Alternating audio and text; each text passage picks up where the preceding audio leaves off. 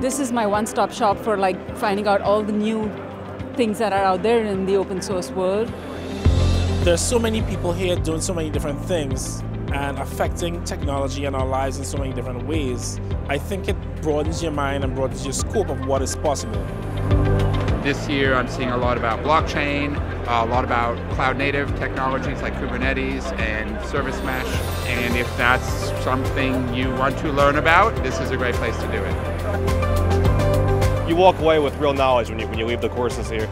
More of a scope of understanding of open source technologies and meet a lot of people within that space. It's a good way to get exposure and learn about new technologies. So I like the diversity of talks.